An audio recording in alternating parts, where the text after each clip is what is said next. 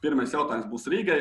Un pirmajā jautājumā ir tā, ka Rīgai mēs jautājam kaut ko par supernovu, un supernovai mēs prasīsim kaut ko par Rīgu. O, tas jau baigas. Negodīgi. Jā. Tātad eh, jautājums Rīgai, Kristofam Blankam un Ivanam Visotskim par supernovu. Cik vārtus ielaida supernova 2018. gada virslīgas pirmajā pārspēlē pret metu Hanzas vidusskolas laukumā? 2018. gads meta pret supernovu Hanzas vidusskolas laukums. Cik vārtus ielaida supernovas komanda? Supernova klusē nepalīdz tagad Рīga. Tagad tas 2018. Jā, tas Pirms pēdējās pārspēles, jā. Это, э, я помню точно, что там Федя забил три или два. То есть, ну, э, что это... 2018. gadā jau Fēģa pie mums jau bija. Нет, он был в 2019. Год у нас был он только. Мы его потом взяли. И они там сыграли очень результативный матч был. Pagaid, nebija kaut kāds. Cik, cik, cik ielaidi, jā? jā. Да, сколько они, сколько, сколько- сколько они пропустили. Э, Если я не ошибаюсь, это была первая игра их. Первая игра это была... Olainē, jā, sanāk. Нет, нет, Ханзас bija. Она Ah, Ханза. не- Hanzā? Jā, Hanzā? Jautājumā, jautājumā bija norādīts, ka spēle notika Hanzas vidusskolas laukumā. Это первая, первая игра их была, и они... Там, э, не знаю, но мне кажется, по, по общей, по общей сумме, если не ошибаюсь, там было 7. Они пропустили в общей сумме. И, и на Ханзас, и на и Волайна. Nu, jā, jā, man jau. Nu, man liekas, kā viņš jau pats nezina, kā tur tā spēle beidzās. Кажется, что да, еще был пер- перспективным игроком, когда они два года. Ну, Мне кажется, мне кажется, 5. Bet, nu, es nezinu, šito. Ja tu gribi paņemt sevi, tu vari paņemt šito. Ну, давай, что? Я думаю, они нормально. Давай 5. 5. Davai, tam mēs sakam piecas. Tā nav pareiza atbilde. Supernova ir iespēja nozagt punktu. Lūdzu, Edgars, atceries spēli. Семь. Liekas, bija eh, septiņi, vai ne? Trener, Septiņi, Siem būs, da? Да, семь. Семь, три. Да. Jā, Siem trīs. Jūsu atbilde ir septiņi. Jā. Tā ir pareiza atbilde. Principā nebija 7-3, bija 7-2. Džamaldīnos pret balodi. Džamaldīnos 7 pret 2. Metas labā. Помню, что было много, но не помню, как. Nu, principā, Ivans jau minēja skaitli 7, tikai Ivans teica, ka tas divas spēles Mēs summā. no- Bet Divas spēles. Summā bija 10, Desmit. 10, 2. Ну, ладно. tas bija sarežģīts jautājums. Arī Supernovai būs ļoti sarežģīts jautājums par Rīgu. Tā kā klausās Viktors un Edgars. Jautājums ir tāds, atkal arī par 2018. gadu, nevis par pēdējo, bet par 2018. gadu. Pēdējā kārtā Rīga, kad jau bija čempione, viņi nospēlēja spēli ar Jurmalas Spartaku. Spēle beidzās 4-4. Tāda Ļoti daudz vārtu bija forša spēle. Un jautājums ir tāds, cik vārtus kopā iesita Aleksis Višņikovs un Darko Lemaičs šajā spēlē summā? Spēle beidzās 4-4. Atcerieties šo spēli, vai ne? Это ваш вопрос, тренер. Я... Четыре по два. Atcerieties, atvērt? Я думаю, да. Tā nav pareiza atbilde. Iespēja Kristofam. Ivans Mēsers, es teikšu tā, viņš iesa četrus un Darko iesa trīs. Три. Вишня Kopā стал. Вишня стал лучшим бомбардиром и по, по очкам по среди латышей, а Дарка стал лучшим бомбардиром чемпионата Латвии. Nu, septiņi tad ir. Nē, septiņas, septiņas. Tā ir pareizā atbilde. Katra komanda nosauc punktu atbildot par sevi. Nespēja atbildēt par pretiniekiem. Rezultāts ir viens viens. Tagad būs otrais jautājums katrai no komandai. Es dodu vārdu ar kādiem. Jā, sāksim ar jautājumu Rīgā. Cik reizes pēdējos 20 gados Turcijas izlase nav spējusi apspēlēt Latviju? Cik reizes? Jā, no, diezgan daudz maču. Cik reizes pēdējos 20 gados Turki mūs neuzvarēja? Nu, 100% 2003. Nē, nu neuzvarēja. Viens, divi. Pēc tam bija te. Š, tam ir šabala, kad apmaņas dabūvēl. Un te. Es zinu, ka viņi tikās toreiz pārspēlēs. Un grupā, cik vēlreiz mēs bijām, mēs nospēlējām Rīgā. Mēs kā šis laik niču viņiem spēlējam. Ja sanāk, man liekas, ka četras, ja mēs vairāk, jo vairāk mēs neesam spēlējuši viņiem. Мне кажется, Шабала еще забивал, не в этих двух играх, где они играли вторые? Шабала iesīt pendeli un pēc tam viņa.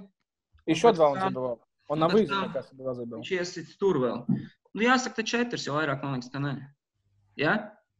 Ja? Tā galīga atbilde, tā nav pareiza atbilde. Nav? Nav pareiza atbilde. Tāpēc iespēja supernovai nozagt punktu. Шесть. Или пять. Пять. Я тоже думаю пять. Ну, 5, 5. Galīgi atbildi 5, un atbildi tiešām ir pareiza, jo bez kvalifikācijas spēlēm ar pārspēlēm bija viena pārbaudas spēle Vācijā, kas beidzās ar rezultātu 3 pret 3.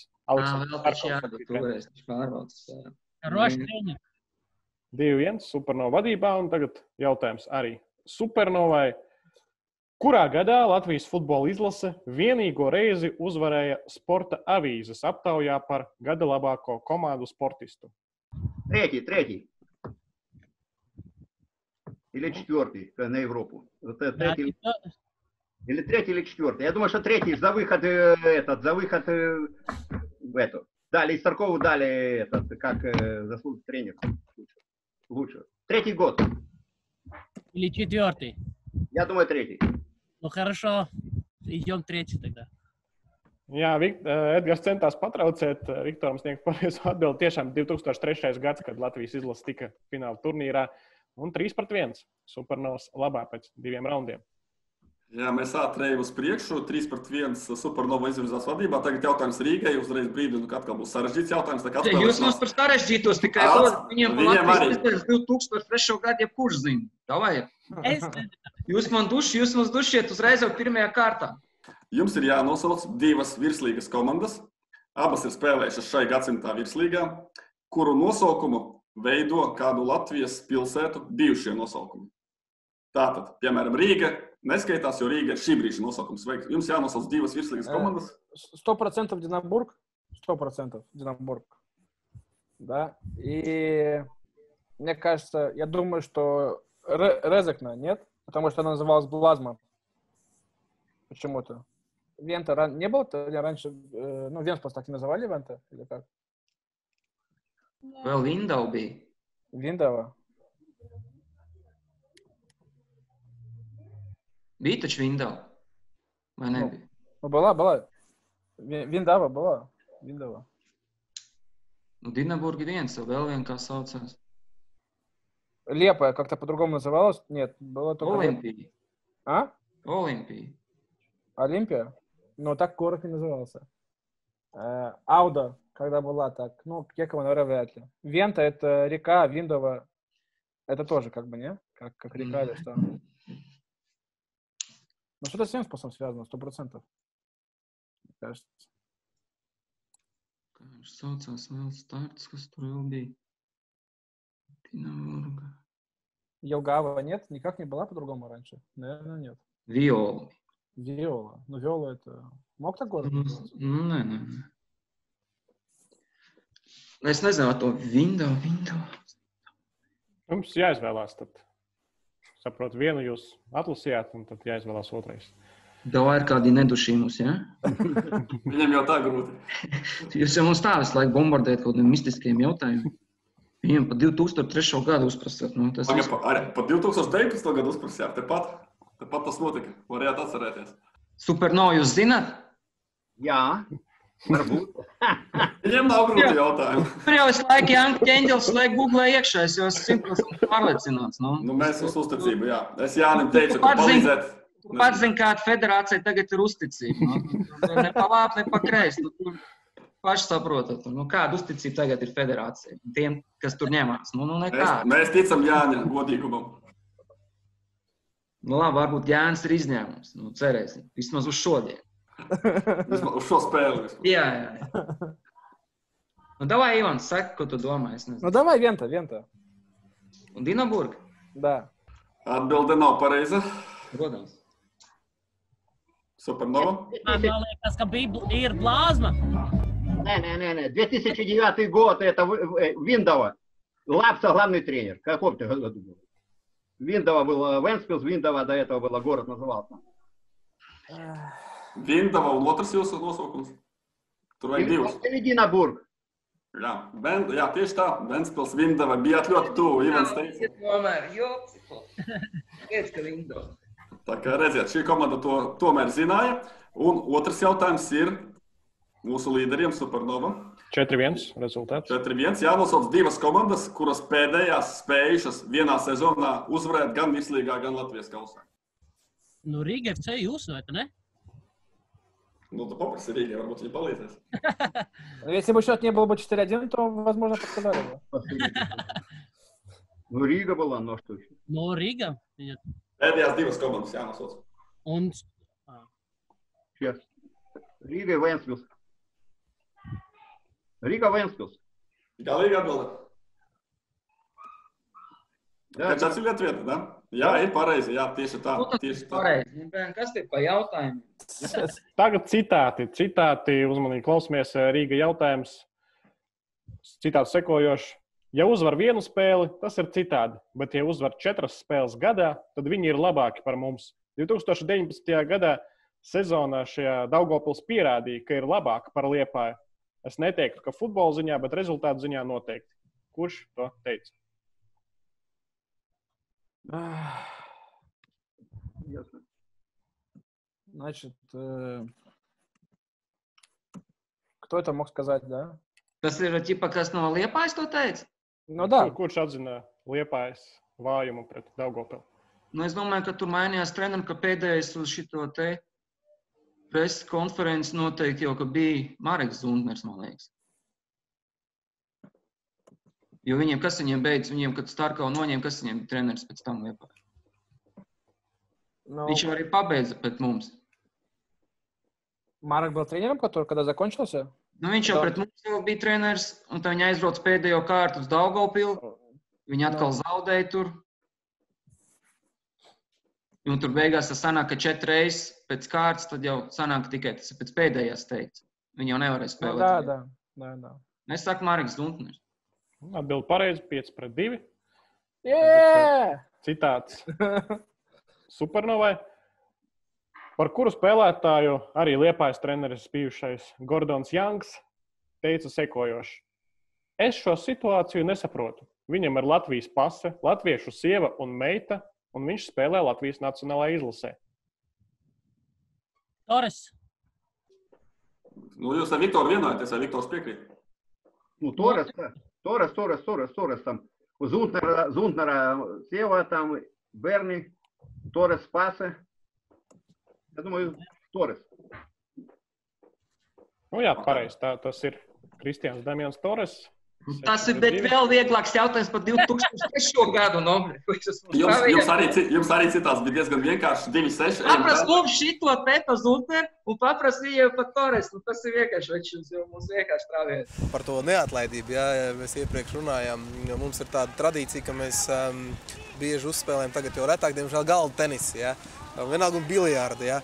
Un tad Kristapam vēl, es domāju, ka sportā viņam deva to tur. Viņš, eh, nu, cilvēks eh, neprot zaudēt. Ja? Un tad ir situācijas tādas bijušas, ka tu viņu apspēlē galda tenisā vai, vai biliārdā. Nu, tur sarunājām līdz četrām uzvarām, pieņemsim. Nu, tagad 4-3 beidzās. Un viņš vienmēr mēģināja atrast kaut kādu mm, iespēju, lai būtu revanš. un Tad viņš izgāja no futbola terminoloģijas. Viņam vienmēr bija, ja viņš viņu tā nē, bet ja viņš zaudēja, tad bija tā, tā klausies, šis bija čempionāts, tagad pa kausu uzspēlēsim. Jā. Un, nu, nu, tā, tā, tā, tāda ma, ma, ma, ma, mazliet vēl piebilda attiecīgi par Kristapu. Tagad ir skaitļu jautājums. Šeit, principā, var jebkura komanda dabūt punktu. Ir tā, ka skaitļu jautājumā ir atbildē kāds skaitlis, kurš ir diezgan liels. Un tā kā skaitlis ir liels, precīzi uzminēt nebūs iespējams. Tāpēc formula ir sekojoša. Pirmā komanda, kurai tiek adresēts jautājums, izsaka savu minējumu. Man ir noteiktas robežas, kurās ir jātrāpa. Ja jūs trāpījuši šajās robežās, jūs dabūjat punktu. Ja jūs netrāpat šajās robežās, tad pretinieki pasaka vairāk vai mazāk nekā pateica konkurenti. Un tad viņi var dabūt punktu. Pirmajā reizē uzdosim jautājumu Rīgai, un tad, attiecīgi, Rīga netrāpīs robežās, supernovu varēs nosakt. Pēc kāda laika, nevis uzreiz, būs tāda otra, otrādi viss notiks, tad supernovu atbildēs. Tātad šobrīd jautājums Rīgai par skaitli. Pilnīgi nav saistīts ar futbola zināšanām, bet tas ir mūsu konkurss ir ļoti daudzveidīgs, tāpēc jautājums ir sekojošs Cik interneta komentāru bija pie sporta centra.com spēles raksta pēc Latvijas zaudējuma Gibraltāram 2018. gadā? Cik bija komentāru skaits? Nu, tur bija ļoti daudz noteikti. Могло быть, Кристоп? 400, 500. Jā, jā, jā, tur bija ļoti daudz toreiz kaut kā. Tur, man liekas, tur kā aizgāja, tur jau pēc tam aizgāja galīgi, jau tur galējībās. Kaut kur arī tur, tur tika arī kaut kāda bija tur kaut kāda. Но это только ты, ты, Крис, это только ты свои не считай. Сколько ты писал. No. Nu, 600, может, не 700. Es domāju, ka kaut kur 550 arī bija kaut kas. Tā ir galīga atbilde 550. Nu, nē, mēs tik tā izmetam. Skatāmies, kā jūs reaģēsiet. Мне надо назвать число, э, чтобы соперник не назвал, чтобы для него было сложно назвать его больше или меньше, понимаешь, тоже. Чтобы, Nu, не, jā. чтобы не так легко им было. Ну, давай где-нибудь 600-700, нет? В этом районе. labi, посередине там говори. Давай, говори. 650. 650. Jūs netrāpījāt robežās. Supernova vairāk vai mazāk? Мазок, мазок, там 300 с чем-то было, до 400, там что-то такое. Tas ir eksperts. Labi, bet tad jūsu galīga atbilde, vai, varbūt Edgars ir citas domas? Es komentārs nelasu, tā kā, Nevajag to lasīt, tikai skaits vajadzīgs. nu, jā, es piekrītu kaut kā 350, 400, jā, lai iet. Tad jums, jā, ah, nu jums, jā, jums nav jāsauc konkrēts skaitlis, jūs sakāt vienkārši, ka mazāk. Jā, Jo pēc tam, kā jau minēju, būs otrais tāds pats jautājums, un jūs būsiet mainītām lomām. Diezgan pat precīzi, jā, šie kun- kungi uzvindi ir 430 komentāri, tā kā gandrīz vai precīzi ir mazāk, tāpēc punkts supernova. Pasaki, cik lielās robežās bija ā, jāiekļūst? Robežās bija apmēram 50 komentāri, es ņemu 10% no, no pareizās atbildes, tāpēc pareizā atbilde bija 430, attiecīgi no 390 līdz Tad būs 480. tev iespēja vēl atbildēt. Cik reizes Latvijas izlase ir tikusies ar Dienvidamerikas izlasēm? Эх, Вы играли с э, Бразилией, да, тогда? Помнишь, в Бразилии была игра? Да. Э, С Боливией вы не играли никогда? Играли там. Играли. Это два, да? Ты записываешь? Nu, ja tā skidojot. Э, С Аргентиной не играли, да? Nē, nē, nē, tur lielais. С. Уругваем не играли. С Чили не играли. Э, Венесуэла играли или нет? М, Бразилия, Боливия. Значит так, э, кто, кто еще? С э, Колумбией, я думаю, тоже нет. Nē. Эквадор нет, Венесуэла нет. Ну, давай тогда два, да? Man tā īstenībā tās jau nav priekšā Ziemeļkoreja. Nu, jā, nu, vairāk es nevaram izskaist. Nu, davai mēs sa- tad sakam divus, jā? Divas, да. Divus. Latvija spēlējusi ar ā, vairākām komandām, kuras piedalījās Dienvidamerikas kausā, bet tieši ar Dienvidamerikas komandām tikai divreiz ir spēlējusi pareizi Brazīlija un Bolīvija 7-3. Nu, paldies, kungi! Un ā, jautājums Supernovai. Jautājums par līgu, kurai neviens nesako, kura komanda uzvarēja Latvijas otrajā līgā 2019. gadā. А, cargo malaikas. Cargo, Cargo. Ну, Второй... Пикрит. Они выиграли у этого, у этих, как его, вот эти, Гетто, Гетто. Ну, лает Карго, я. Ну, Карго выиграла у Гетто, там, 4-1 или сколько там. 4-3, Я Карго, Айзет. Jā, atbilde ir pareiza. Fināls gan bija saspringtāks, uh, get- baidzēja atspēlēties. Seldzēja Kargo DFA, kas tagad saucās par lokomotīvu, bet atbilde ir pareiza. Kristap, tavs komentārs. Es jau vairs neko neteikšu. Es jau, jau es sen jau visu pateicu. Es negribu kritizēt nevienu. Nē, nē, es jau neko nesaku. Vīri, es vienkārši. Это, это напоминает э, это, вторая лига Советского Союза, когда поехал на выезд в, э, в Грузию куда-нибудь или Люди задушили. в, Гру- в Гру- Olē mēs spēlējam, visas vis spēles olē mēs spēlējam šodien. Tagad arī būs jautājums katrai komandai, kur man subjektīvi šķiet, ka Rīgai tomēr drusku vieglāks, bet nu skatīsimies, kā jums ies. Tātad Rīgai jautājums tāds. Daugopils komanda ar nosaukumu Daugo, bet nu, tam nav nozīmes. Daugopils komanda vienīgo reizi par Latvijas čempionu kļuva 2012. gadā. Jums ir jānosauc šīs komandas abi galvenie treneri, kas vadīja komandu sezonas laikā. Abu galveno treneru uzvārdu. Bija taču šis te Sabītovs mūsējais, un otrs, kas bija? Если я не ошибаюсь, то был Табанов такой. Табанов, Ivans Tabānos no šitās te, no Moldovas. да. Sabī- gal- un Sabītovs sāk taču to sezonu. Да, он сыграл три или четыре игры, и потом пришел э, Табанов. И они выиграли на, на Аркадии, они выиграли, мне кажется, последнюю игру и стали чемпионами. Да, на Аркадии, да, и он ушел. да. Viņa не подskazi. Tam mēs Daudz- arī sakām to, ko mēs pateicām. Jā, Veči. Atbildēt, atbildēt pareizi, jā, tieši tā. Bija Sabitovs un Tabanovs. Sabitovs gan bija vairāk nekā 3-4 spēles vadījis līdz maija vidum, bet tam nav nozīmes uzvārdi nosaukti pareizi. Jautājums eh, savukārt supernovai ir šāds. Drusku par vecākiem laikiem būs jāpadarbina atmiņa.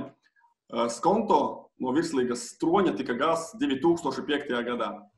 Un toreiz titulu izcīnīja Liepājas metalurgs. Jums jānosauc tās sezonas Liepājnieku divi rezultatīvākie spēlētāji, kad Liepāja kļuva par čempioniem 2005. gadā. Nebija, nebija Karlsons, nē. Karlsons, Ag- Agrebi? Nebija. Локомотиве, который играет в московском, как сейчас тренер, как это? Не игрок сейчас, он игрок, он игрок. Если вы не знаете, я могу сказать сам. Tur jau tur eh, šitas tieši pateiks. Priekšā tu Lītās. Jānis neko nesaka, mēs ticam Jānim. Es jau nezinu par šitādas atbildes. Так вы не знаете, а Google знает.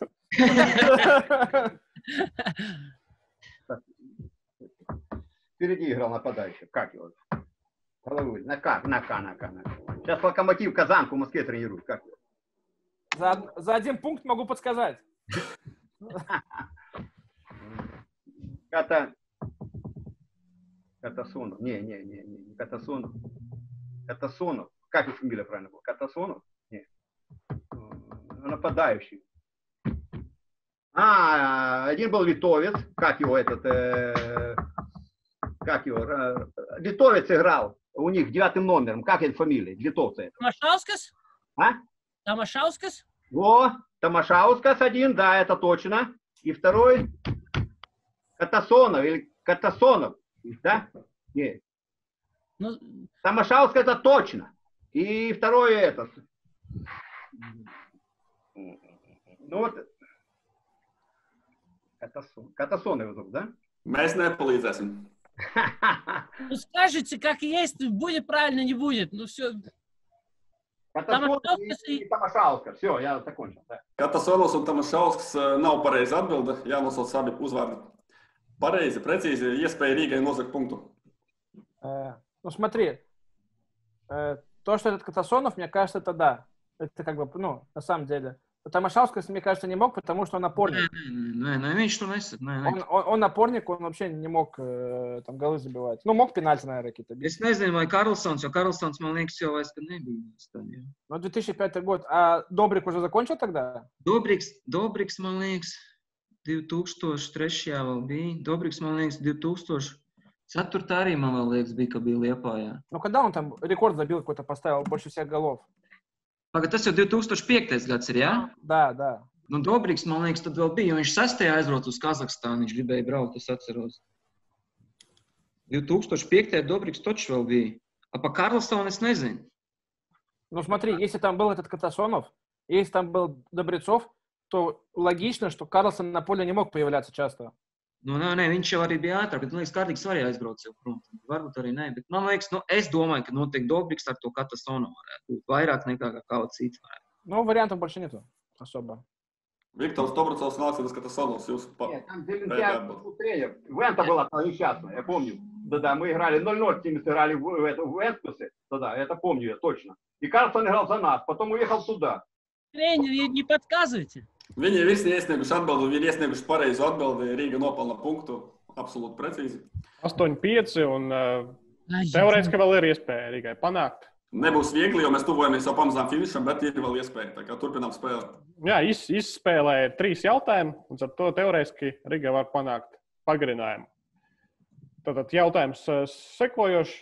Ventspils 2009. gadā Eiropas līgas grupu turnīrā guva trīs vārtus.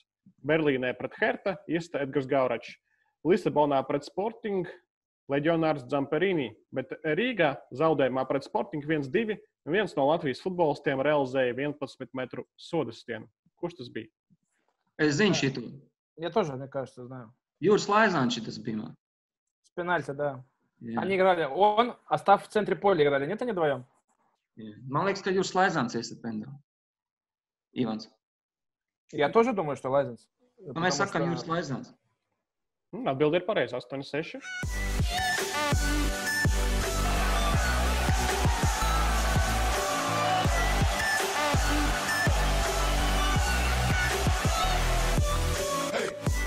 Davai, Eģi, uztaisam papildu laiku, lai interesantāk. Vai ne? Jā, no. Tātad Latviju vienu reizi Eiropasos pārstāvēja Jēkabā Olimps. 2008. gadā UFO kausa izcīņā pirmajā spēlē Olimps 76. minūtē tikai ielaida vienīgos vārtus pret īrijas St. Patriks, zaudēja ar 0-1. Bet kurš pieredzējušais Olimpu futbolists tajā mačā jau 8. minūtē nopelnīja sarkano kartīti?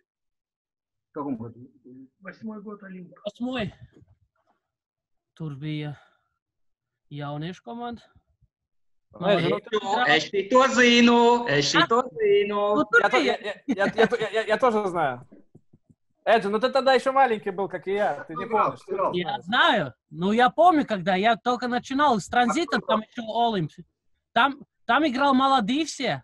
Ну, И, да. и там пару игроков, которые опытные были. Ну, кто там был, я не знаю, не помню. Nu, es jau zinu atbildi. Jā. Viņi jau redz, dod otrādi. Viņi zina, kā, ko mēs zinām, viņi dod jums. Ko mēs nezinām, viņi dod mums. Да, да. Но это точно не Зутнерс. И не Торрес. Pagaidiet, kurš tur?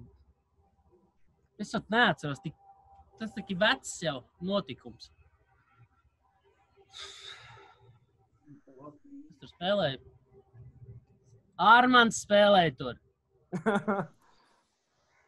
Es jau nozinu. Tā.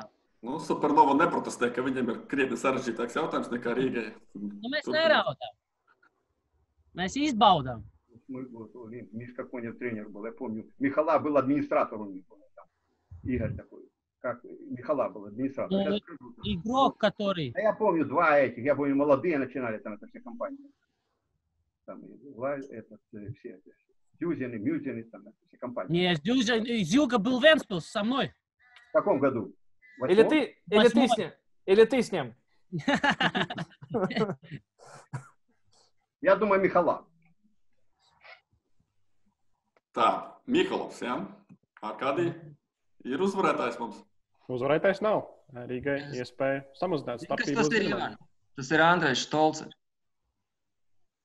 Jā, latviešu Zinatins Zidāns līdzīgā Jā. stilā А, nopelnīja а, sarkano kartīti. А Если я не ошибаюсь, его удалил грузин.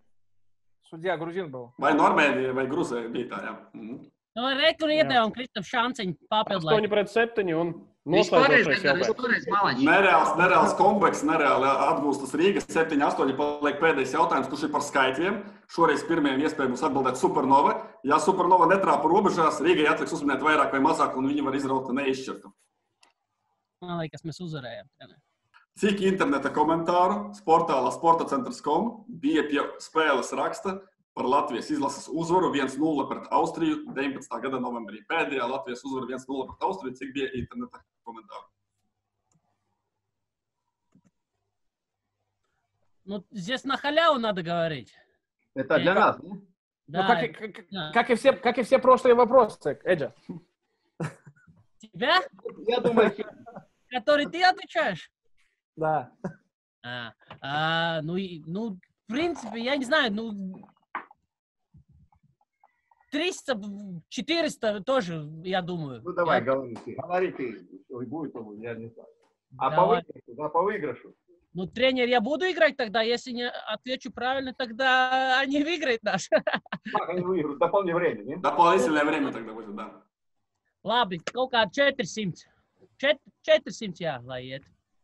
Supernova netrāpa robežās, bet Rīga arī vēl nav nopelnījusi punktu, lai Rīga izrautu papildu laiku. Viņam jāpasaka vairāk par 400 vai mazāk par 400. Ivans, ko tu domā? Man liekas, ka mazāk, diez vai, ka tur jau vairāk. Ну, Почему? Мне кажется, это такое было счастье для, для нас всех. Нет? Tu domā, ka vispār raksti komentārus? tad? Ну смотри, допустим, когда Латвия проиграл Гибралтару, было 430, да? Nu, jā. Э, то Es есть, domāju, ka, ka tas Gibraltārs jau vairāk izdod žulti nekā ka mēs kaut ko uzvaram. ну, логично, тоже логично.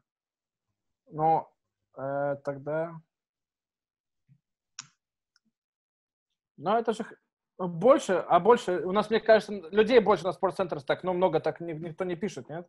Ceļiem- mazāk. Nu, tas ir jāmin, bet man liekas, ka mazāk. Tu nevari. Все время, все время одни примерно, ну, группа людей одна и та же.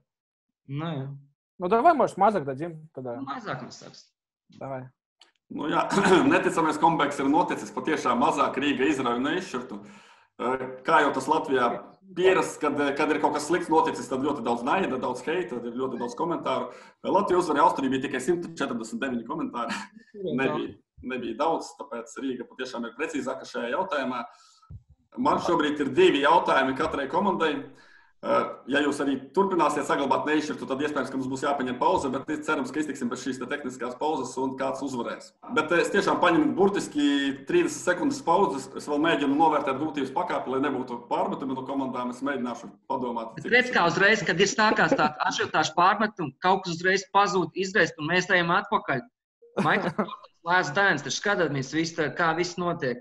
Kaut Mēs- kas notiek, kaut ko bija iepresē, tur bija šī panika, un mēs esam atpakaļ. viss. Nu, Kristap, Tieši mēs tādā ļāvām- veidā, lai Rīga arī panāktu tos titulus.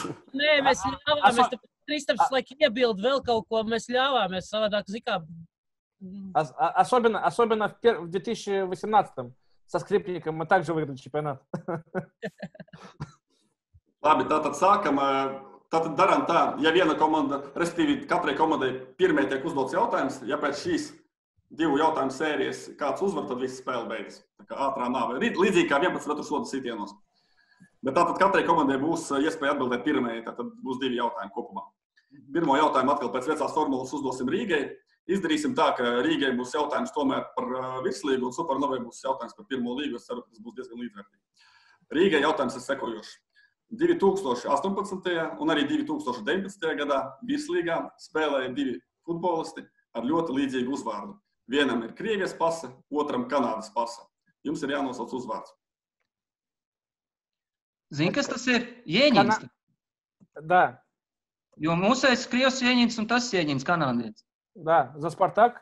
Nu, ja? Ришард, э, Ришар Енин и Иван Енин. nu, tad tie ir atbildi mūsēji. Tas jau pārāk viegls jautājums. Tā bija. ir pareiza А, ну atbilde. ладно, ладно, Эджи, ну как? Tagad arī jautājums par jums. Jums arī būs par pirmo līgu. Jūs tur visu laiku uzturaties. Tāpēc, man, manuprāt, jums būs tikpat viegli vai, vai grūti vienalga. Tātad jautājums ir sekojošs. Klausieties uzmanīgi. Tātad pirmajā līgā, neskaitot vienīgi tukumu, nu tukums tagad ir ticis virslīgā, tukums vairs nav uzskatāms par pirmās līgas komandu. Tātad pirmajā līgā visilgāk, bez pārtraukumiem spēlē Auda un Rēzekne, jau ļoti sen pirmajā līgā. Jums ir jānosauc trešā senākā komanda, kas spēlē pirmajā līgā bez pārtraukumiem. Pasaku vēl priekšā, ka viņi spēlē no 2014. gada katru gadu pirmajā līgā. Не может быть Смилтона тренер? У нас Первая Я- лига. без пе- перерыва Да. Мне тоже кажется Смилтон, но может быть Рейзекна тоже. Ну, Нет, идёт? Ре- так Резекна уже есть, Эджи. А, тогда Вот, Смилтона, Вот да. мы играли в 2014 году, я работал в этом. Давайте тогда Смилтона. Смилтон, Азиат. Не, подожди, Смилтон. Да, да, Смилтон. Хотя Смилтон. Ну, Ну, отлично. Ну, Бывает, за там это. играли в этом, э, сыграли этом. в Голдбане. Смилтона было тут раз? Я думаю, что, мне кажется, Смилтона не было. тогда. А, было, было, Смилтона, да. Да, мы Ну, выиграли. Смилтон, Азиат, Смилтон. Смилтон. Nav variantu. Atbildēt precīzi, ar kādiem turpina rēķināt rezultātus. Jā. 9-9. 9-9. Jā. Rezultātīvākā spēle pagaidām vēsturē. Tagad, tagad pamēģināsim, pamēģināsim uzdot eh, jautājumu katrai komandai, kur būs jāatbild vienkārši ar jā vai nē. Tātad Rīgai sekojušs jautājums. Vai Jānis un Dāvis Ikaunieki ir spēlējuši pirmās līgas turnīrā? Jā vai nē? Э, Опа. мне ка- э, Viktor, tas ir jautājums Rīgai. Kopā vienā komandā? Нет, вообще. Principā jautājums ir formulēts, vai viņi abi divi ir spēlējuši pirmās līgas turnīrā. Kopā, ne kopā tam nav pat Э, nozīmē. помнишь, помнишь, была, был дубль, дубль э, Лепы, Металлурга, и они тоже принимали участие в первой лиге. И, и был еще такая, где был Калашников тренер, Лепа 1645 или как, 75, как, как jā, называлось. 325. Nu. И у него был 94 год там в основе, и 95 И мне кажется, вот там вот мог играть э, Янка и, и Давис. Domā, ka viņi spēlē pirmajā līgā? Ja? Ну, а где им еще играть? Потому что тогда дубль, дубль, э, когда я играл за дубль Венспуса, они тоже играли, дубль Лепы тоже был. Nu, tā būs Хотя- pirmā līga. Да, это была первая лига, мне кажется. Хотя... Ну а где они? Они же не могли, допустим, играть сразу в 16 лет. Хотя Давис рано начал, нет? Или Янка? Янка, наверное, раньше, да, начал? Хотя не, наверное, оба. Nu, Viņš tam pirmā līga dublieriem, man liekas, bija kurā gadā tas bija 2013. tas jau bija. Но им Ну. сейчас, они, они 94 95 года. Nu, Они оба. 18 gadi un tur. Tik agri jau viņi varēja spēlēt. Jau. Ну, Nu, es а sāku dublieros un uzreiz spēlēt virslīgā. Kas tur foniņā kaut ko stāsta? man liekas, tur. Jā, jā. Paklausieties, man māte, viņa zina gudrāk. jo pa- Viņa atbildi. Viņa pa futbolu vairāk zina, kā es. ну, вот это точно.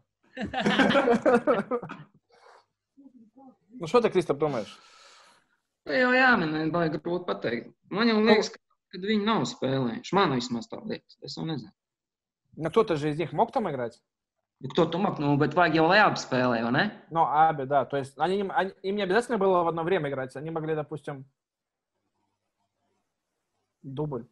Ну, тогда дубль и был, мне кажется, в первой лиге общий. У нас был тогда дубль. э, мы играли по первой лиге. И Nu, в первой 13. лиге- gads tas, man liekas, ir 13. gads, kad Jā. bija kopējais. Мне кажется, еще Мэджик тоже там был, не? Нет. В 2013 году ты не был больше? Nē, es biju tranzītā jau. Ну да, так мы же потом играли. Когда транзит распался, мы потом играли по, по первой лиге. Было таču пять дублеров вместе с первой лигой. Nē, Tad es, man, tad man liekas, ma- es aizgāju uz audu, lai tuvāk mājai būtu. Man liekas, tas gads bija. Un pēc tam es atbra, atgra, atbraucu uz virslīgu, uz tranzītu, kad eh, tranzīts tika. Bet tu nejauc man iekšā, es tev nepalīdzēšu. Nē, es vienkārši saku, ka 13. gadā tad viņam viens ir 90, kur gada 5. un otrs 94. gada. Tas Да. ir 19 un 8 un cik tur tie gadi. Ну, вот не, ну, ну, это хороший возраст. Даже, допустим, смотри, если они не попадали в основу, это же была плавающая заявка. То есть они могли спокойно сыграть и там, и там. Ну, чтобы... Одну-то игру каждый из них мог сыграть в первой лиге. Это же логично. А если не такие были, типа, мега, мега крутые сразу, знаешь, чтобы безоговорочно играть в... только в верс-лиге. Ну, наверное, я тогда за эти года не следил, кто там играл, кто не играл. Ну, потому что ты сам играл. Nu, jā, man nes, nesako līdz, kas ko spēlē. Ну, не знаю, давай. Nu, tur ir jāsaka, vai viņi spēlē vai nespēlē. Ja? Tad Jā mēs vai nē? sas- teiksim, ka jā, ka spēlē. Ну, давай, да. Galīgi. Jā. Atbilde ir pareiza. Viņi nespēlēja tajā Kalašņikova komandā, ko pieminēja Ivans, bet viņi spēlēja dublieru turnīrā Metālurgas TV sastāvā Viktora Dobracovs, starp citu, arī vadībā. Tas bija Atceros. 13. gads. Par gadu, nu, pir, tieši pirms virslīgas, varētu būt pirms Viktors pārņēma arī virslīgas komandu. Jo, manuprāt, pat jā, jau 12. gadā Metālurgu trenēja Kalašņikovs, tātad jā, 13. gadā viņi iegāja ar Dobracovu virslīgā. Bet pirms tam 12. gadā viņi spēlēja dublieros, un Dobracovs vēl vienmēr teica, ka tie ir labi čaļi, bet viņiem drusku jādod pausiem, lai viņi drusku piezemētāki būtu. Tas man ļoti palicis atmiņā. Tā kā jūs atbildējāt pareizi, un tagad uh, arī Supernova jāatbild pareizi, lai viņi turpina cīņu. Arī jā vai, arī jā vai nē. Arī jā vai nē. Un jautājums ir sekojošs. Vai Arthurs Zakraševskis ir spēlējis vienā virslīgas komandā kopā ar Juriju Žigaevu? O, тренер, этот ваш спитаник. Так Ja, что, один и второй, да. tajā, kas bija tie Rīgā komanda, kur Žīgs spēlēja pirms Ventspils? Viņi nespēlēja kopā. Они не играли там? Не, не, нет, не играли. нет. В Риге точно. При мне точно не играли. При мне не И играли. французы, Чёрт, они там- не играли. Я думаю, что не играли. Сейчас еще подумаю. В Энсписе э, Жигаев был. Ну, Закрыжевский он был. играл там, я, я, я помню, я там... В Энсписе Закрыжевский был? Нет. Не был. Закрыжевский был в Леопае. Вот, значит, не было там, да? Теперь в Риге ЖК был? Жига был в Риге. Да, а Закрыжевского не было. Я не знаю. Так я тебе говорю, в Риге я работал до 2003 года, Жигаева нашел четвертый не было. Эджа, спроси у мамы. Аму. Давай, говорим, не играл. Не играли. Ну, я, я, я- если они говорили да, тогда, нав- наверное, нет. Ну, А, нет, говорим и все, и расходимся. Labi, nē. Spēle ir beigusies. Spēle ir Jā, beigusies. spēlē. Kristaps var pateikt, pareizi atbildi. Kristaps, vari в pakomentēt? каком году они играли? Viņi spēlēja, Zakriševskis, kas aizgāja prom no mums 6. gadā, man liekas, 2007. viņi kopā spēlēja. Kurā komandā pasaka viņiem? FK Rīga. Jā, FK Rīga, tas, ko Viktors teica, ka Rīgā nespēlē, Zakraševskis ir spēlējis FK Rīga 2007. gadā. Tāpat arī Žigājs spēlēja ļoti ilgstoši šajā komandā. Tā kā atbilde tomēr bija, ka viņi ir spēlējuši vienu sezonu kopā, pilnu sezonu. Un šo dueli ar kādiem, kurš uzvar ar kādu rezultātu. Uzvar Rīga futbola kluba ar 10 pret 9 atspēlējoties no. Redz, kur tas čempionu gars, Trīs- viņš kā izlaužam. astoņi, manuprāt, bija. Salaužam spēles vidū, jūs salaužam. Jūs salauzāt, jūs salauzāt supernovu vai vadītājs? Mēs visi salauzam sevi, salauzam visu. Tā tikai var uzvarēt. Pirms nāk vieglāks jautājums uzdot, un tad tu... Jautājumi bija iepriekš sagatavoti visiem. tā kā Centāmies uzdot līdzīgus. Tā sākumā sanāca, ka izrāvās vadībā supernova. Es domāju, ka ar trakāku sižetu mums spēles vairs nebūs šajā, šajā erudīcijas sezonā. Да. Спасибо. Спасибо, соперники. Спасибо. Ну, jūs varat vēl, vēl īsumā pakomentēt, varbūt, vai Ви- Виктор, Виктор, с ва- с вами начать, какие вопросы были легче, тяжелее, что... Честно говоря, я думал, что вы пройдете по, все- по всему, по всей столетию латвийского футбола. Я думал, вы в Европу. будете. Знаете, я даже, так, в этом плане. Потому что я не думал, и я отсутствовал 10 лет в Латвии, я же работал в Эстонии, в Креве, там, поэтому мне сложно было вот эти года, восьмой год, десятый, четырнадцатый, вот я приехал обратно, это я помню, а вот эти года, вот это, для меня это было, честно говоря, очень круто и сложно. Вот только я Виндоу помню, когда Лапса, я с ним общался, приезжал, вот он работал, когда Виндоу, вот я помню. Kristap, tagad pēc šīs smagās uzvaras plānojat uzvarēt šajā konkursā? Nu, nē, nē, viss kārtībā. Tur ap tie jautājumi. Nu, mēs, principā, tur nepadomājam par to Windows, ka mēs tur vienkārši neuzminējām. Ja, tur mums bija divi varianti. Un par tiem turkiem arī es pēc tam sāku domāt, ka atcerējos, tas bija trīs, trīs kad Nu, tur bija taču ņemams jautājums. Nu, bija Nē, ņemams. nu, kā gaurečs un tā, jā, bet nu, no sākuma vienalga. Man, nē, var būt tās tikai man liekas, bet man tiešām likās, ka sākumā mums bija nu, grūtāki jautājumi. Nu, jo tur par to Torres, man liekas, tas vispār tāds ļoti vienkārši bija. Я ему фору дал тебе, чтобы молодой, тебе все знаешь. ты. Nu, viss jau, jau правильно, Pāliņš, jau правильно. Tā kā, nē, nē, nu bija interesanti. Mēs domājam, ka būs vieglāk. Noteikti būs daudz vieglāk. Bet, Labi. bet, Edgars Ivans ir kāds komentārs vai atvadāmies? Nu, nē, interesanti, kaut kas, kaut kas jauns. Man, es pirmo reizi piedalos šādā visā pasākumā. Un uh, man arī palielam, tad, kad jūs saucāt tos visus gadus, trešais, un, un tos es arī biju mazs bērns. Un ko es darīju? Līmažos nebija, nu, palielam. Mums, kompjuters parādījās ļoti, ļoti maz. Es nesēdēju pie kompjutera. Mēs dzīvojam ar Rošu Mārcu, ar Elviju Putniņu. Tādu mēs dzīvojam visu, visu, visu laiku pa stadionu. Tāpēc mums futbols televizors nebija tas īstais. Un, un, un tāpēc arī īpaši nezinu par tiem veciem laikiem, bet nu, par, rekur, par, kas, kad es sāku jau sāk, filtrēt un ne par futbolu, visu, visu, tad jau es kaut ko, kaut ko zinu. Un, nē, interesanti, interesanti. Man patīk. Jā. Biežāk vajag tādus iztaisīt. Nevis Nu, tad, tad, nu, tad biežāk vajag iestāties pandēmijai. Jā? Tā kā Ваня, расскажи, что... Не, сп- Спасибо, было очень интересно. Мы с Кристофом вырвали эту победу, очень А приятно. хотите подключиться, выиграли. Вот Не, это, с- блин, сопер- Соперник был серьезный, соперник был серьезный. Nē, nu, Viktors jau tur ļoti daudz Не, ну, zina. не, ну Па- Палыч это Википедия, так что нам где-то повезло. Сто процентов. Спасибо. И если хотите попрактиковаться, давайте 14 сыграем викторину футбольную. Pies, ja lai Jānis Engels pieslēdz Viktoru pie, pie tās erudīcijas Jā, sporta, ne sporta, bet futbola. Не, сп- сп- спасибо организаторам, так что мы еще с вами увидимся. Ceturdaļfināls. И С Кристофом готовы удивить еще людей. Всё, Звоните мне. tikai ne, ne, nesūdzies, kas tur v- viegli jautājumi tā tālāk. Но только ты никому не рассказывай, давай. Aiziet finālā jau. Давай, Edgar, всё. Redz, kad notiek kaut kas, kaut kāds padušīts, vai kaut kas uzreiz, kaut kāds rezultāts. Ir tu nevienu nepišķi, ne, ne, jūs tur pirmajā līgā, kā spēlēt, tas spēlēt. Nu, padušiet vairāk, Jānku. un Es būs iespējams- nespēlēju Kristofu jau sen jau vairāk. Nu, tu trenēji puikas, bet vienalga kaut ko jau tu tur ņemies. taču Vienalga. Gan Nu, nē, jā. es sāku. Viss Давай. malāks. Labi, es arī pabeigšu šo sarunu ar, ar rakstīšanos, ka mēģināsim nogremdēt Rīgu ceturdaļfinālā. Tā kā viņi šeit izvilkās neticami un pasūdzējās, tad ieriepsim drusku viņiem grūtāks jautājums ceturdaļfinālā uzdosim. Viss kā parasti, nekas jau nemainīsies. Nekas jau nemainīsies.